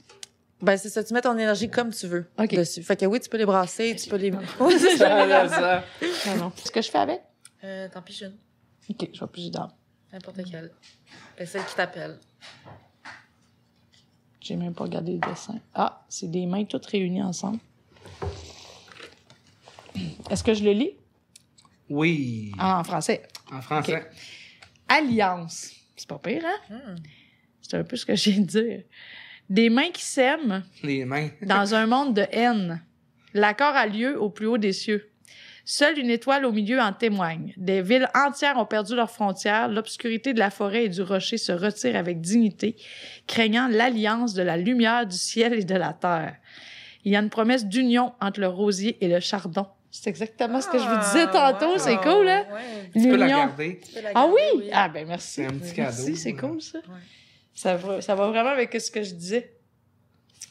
Merci en tout cas de l'invitation. c'est Ah, vraiment- merci d'être vraiment- Merci à venu. toi. C'est vraiment un plaisir de te rencontrer. Mais Moi, je trouve que tu sais, tu dis que tu as fait beaucoup de. Tu, fais, tu utilises la visualisation. Là. Mm.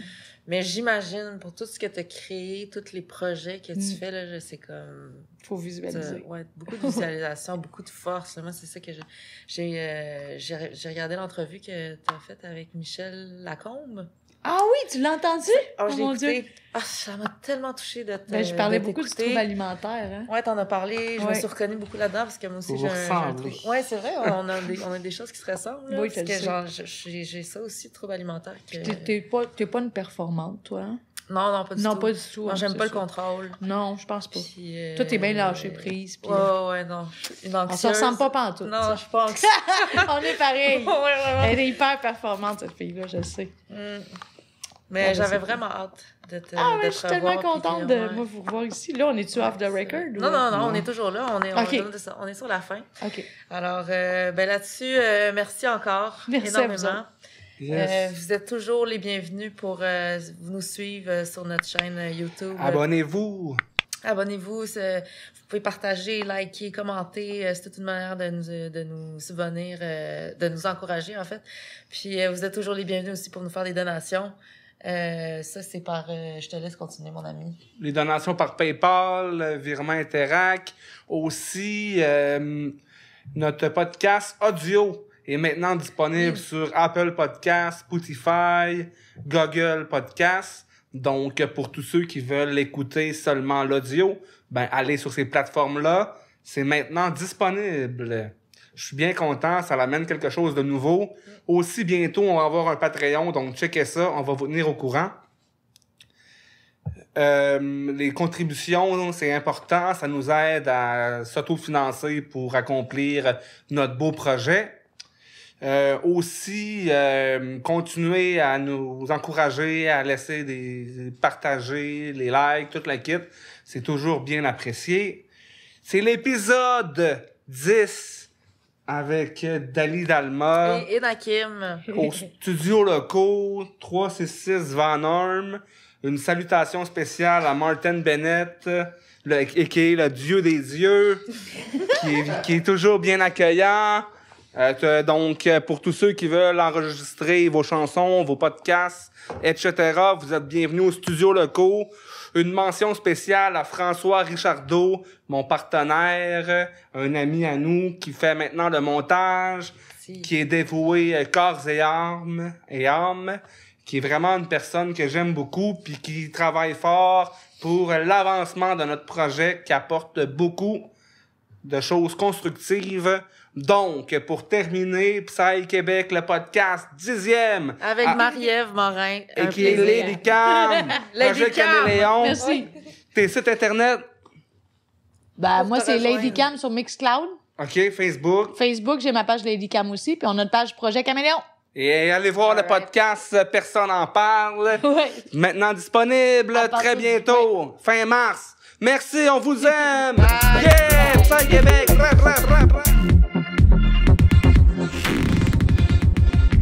Suck.